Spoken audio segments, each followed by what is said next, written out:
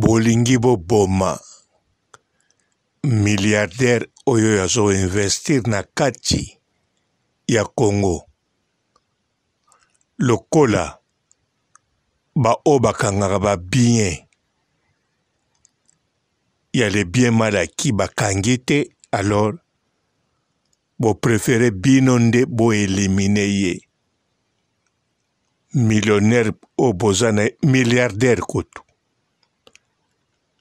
azo investir na mboka oyo ya koloka te mboka ezanga bamilliardaire eza mpasi o mbongo ya koyiba bandeko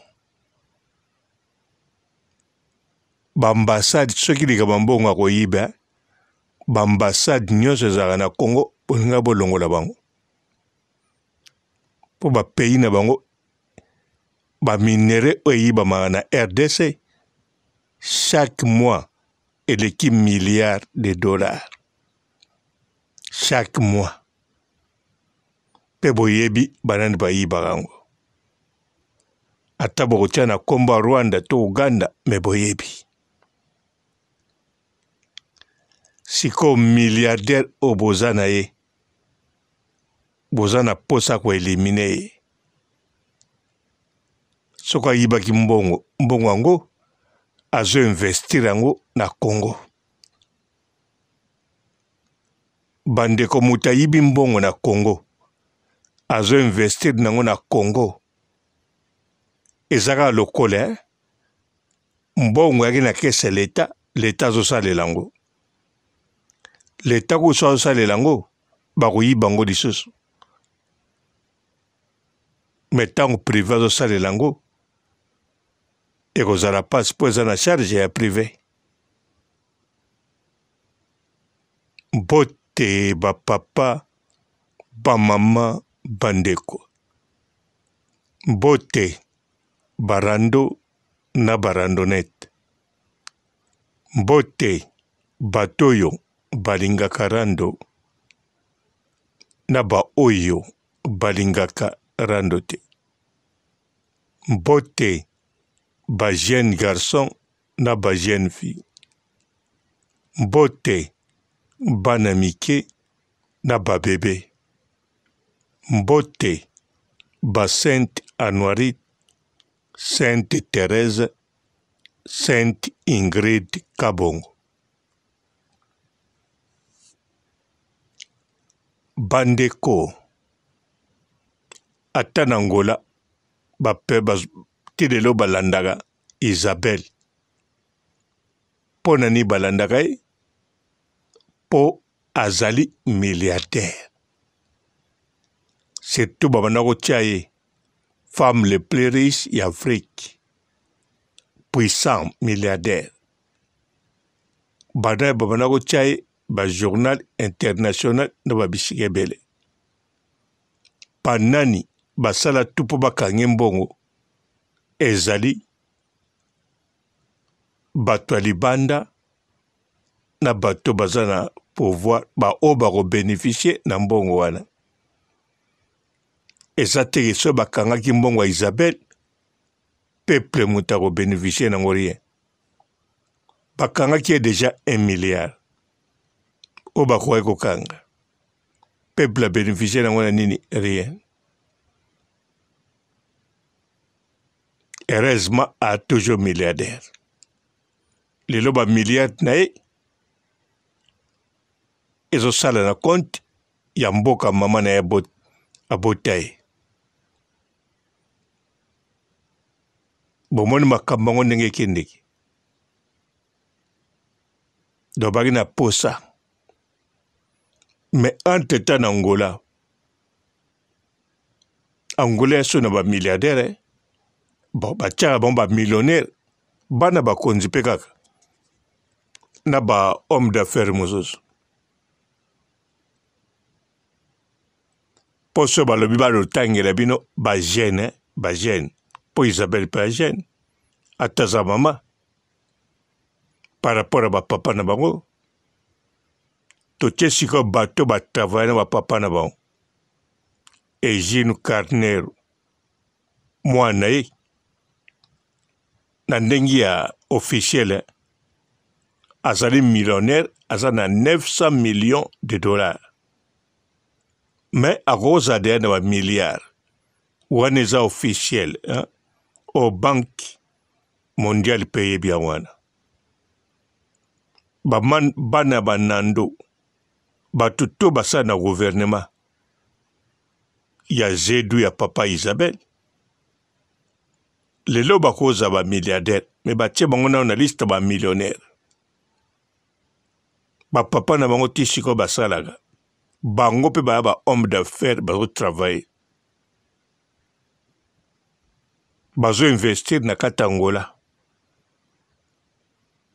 ata mpe bana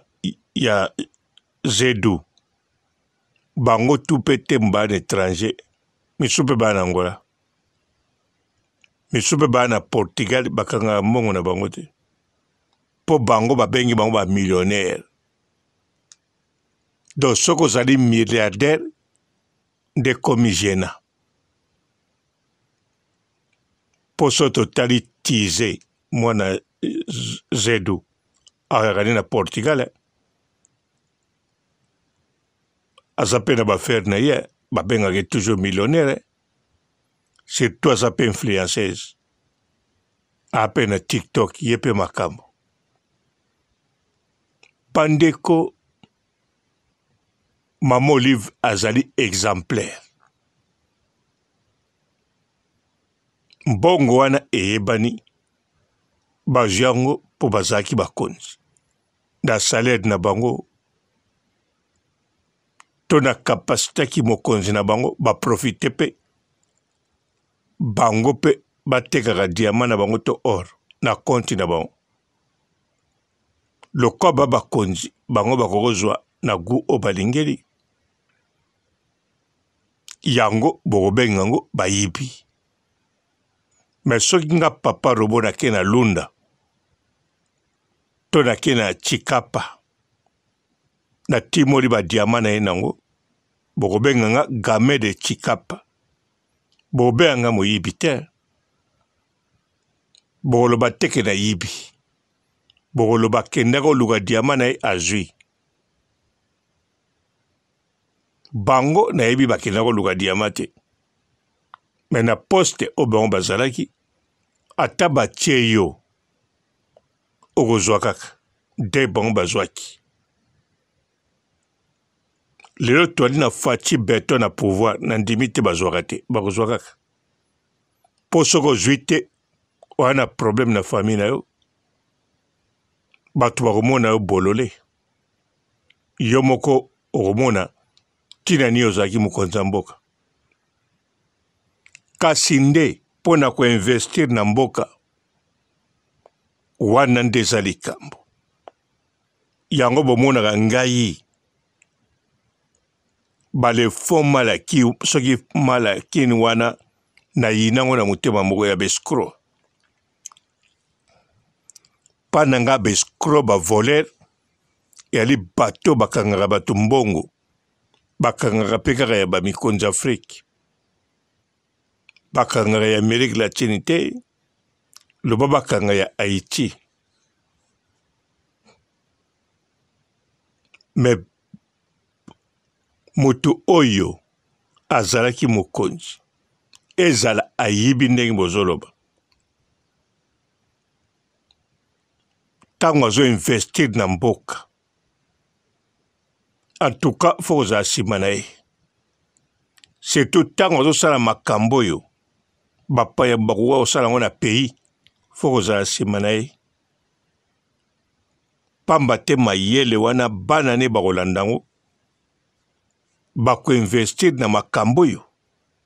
bozwa kozela te na kati ya mboka mama di mama azo investir na bilanga te ndenge osalaka bilanga te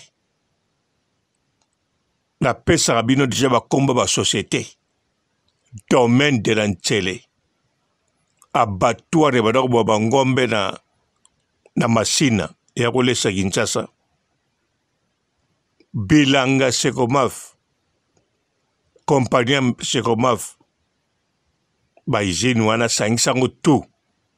yango wana eyali deja na kingakati bakisa barestaurant vip epai bahomme d'affaires bakoki kokende distraire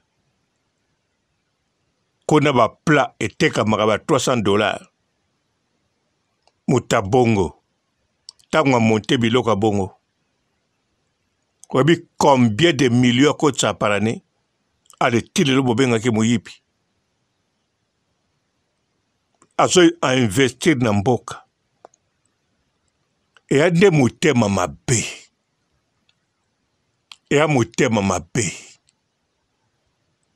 na kotala ti na televizio mpa ya papa sango a tobanda koyeba teke babanda kotonga kingakati mpo atongi yango bien mpo atongi yango asali yango ekonomi Kingakati ea ferme ya lirange simple. Batongi yango abeti bandako lokola monastère. Basali societe bilanga. Basalaka masango baniki ekoti na basaki. Entreprise societe. Donc bazo travailler ba investir asali hopital ainvestir na mboka azokotisa mpe mbongo alibo obenge moyibi eske soki bopaya moko aye mundele atongi kingakati asali hotel wana asali hopital asali hotel na lubumbashi soki alobi aza milliardaire bokondima ye bokoloba azosala bamilliard so batuni bino aosalela yango wapi bokoloba wi aosala yango na mboka na biso atonga bopital atonga banini oyebi mbongo ekotisaka kasi mama olive bakotisa mbongo te lelo bobengaki moyibi mpe na biloko wana asali apesi misala bato basalaka kuna basomba mapangu bato wana batambola na motuka bazwaka salaire ya bien bakipaka bafamille na bango alors oyo azali milliardaire congolais na libanda bakoki ye te ake mpe libanda te bwana posaka boboma ye boni boloba nini ye moto azosala guerre ya leste eh? so akufi guerre esili ya jalousie motema mabe to bozoloba baolinga basala coup d'etat ou bien nini mpo modele bazali eleki kozala président ya république eh? baproblème eya te na peuple loba bacreele bango problème mpo bato bake buka ndako wana eyebani eza commandite na ba leader politique wana eyebani mpo peuple moko te akozwa courage akende buka kingakati ata bajaloux mpe baza na bango me bapeuple batya yango ka te bayebi ke ingakati ali bayebi ke chine rambo azali bayebi ke mama olive ayali na baoyo bayina chine rambo bayinaki ye ntango mpaki na pouvoir baa na boule ntango na ebuka ingakati ata baoyo bakebuka ndako wana parmi bango mingi bayaki na bango na boule te bamemi bango nde na manipulation bandeko ya lipire jalousie na angola bana bamillionnaire oyo tuna tangi wana bango tu bainvestiraka na kati ya angola bango tu bazocreye misala na kati ya angola mpe bango tu baza na mposa ya kokima te baa na mposa bazala na ngola ee eh. alors na congo zaire bamilliardaire baa na bango mposa soki motu normal abimi milliardaire kaka bakokana ye na bato ya politike bagouverneur na gouvernement mpe na bamilitaire de fois azala na bango baproche bakabelaka bango ata kuta akabeli bango kaka baosali mabe donc milliardaire azala proclame na zaire ndenge ezalaka na senegal mpo na senegal na bamali Ba riche na bango balekaka president na mbongo, balekaka ba ministre na mbongo, baza ba homme d'affaires reconnu. Bobetaka mpe na ba YouTube te, botala kaka na Zaire bazalaka te ebanda na mpango na epoka Mobutu ondire butu simple akokoleka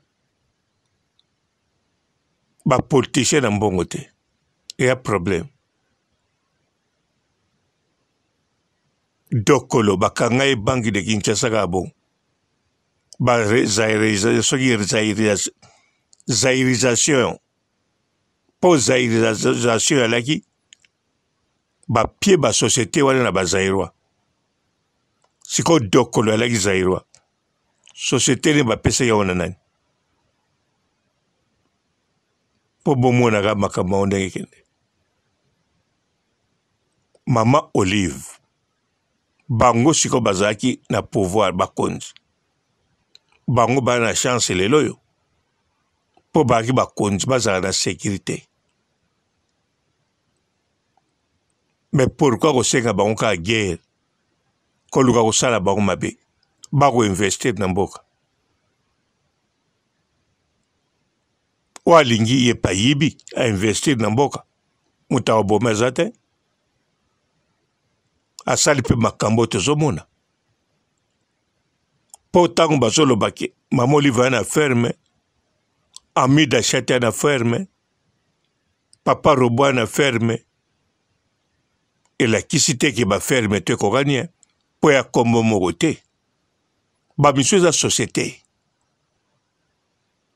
ezali grand société entreprise akosakana te avec bamashine bango baorganiza très bien modele babetaki ngakati wana banda histoire ya zaire ezala tokóma ti na congo indépendance eleki ti lelo moto azwa bula kobeta eloko ya bongo aza te loba alota yango na ndoto yango ezotya bajalousie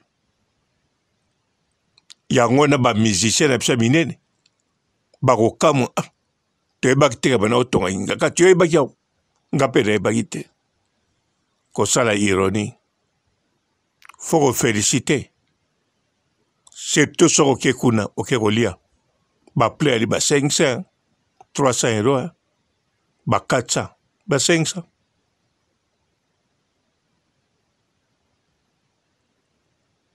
kaka semaine eleki ndeko na ngai moko te kolia kuna na avion ne na restaurant baliaki ba plein 300 300 dollars hein? donc azokotisa mbongo bato bamonaka mbongo basaleli bino esika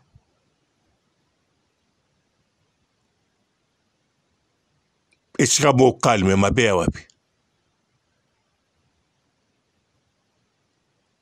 Bandeko na suki sha botikala malamu et ciao. Bonjour fidèle internaute de www.elengiakombatv.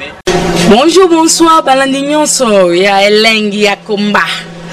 Hein? Congolaise TV. Bote bele bele bele partout. tout dans le monde partout où vous êtes partout bozolanda elengi ya combat tv vraiment bonjour bonsoir na babone bafan nyonso ya elengi ya combat congolais tv bonjour à mon boss wana napesa yango vraiment ya mopanzi bonjour à mon boss jp kiama je sali mon boss balobi boss de boss babi jp kiama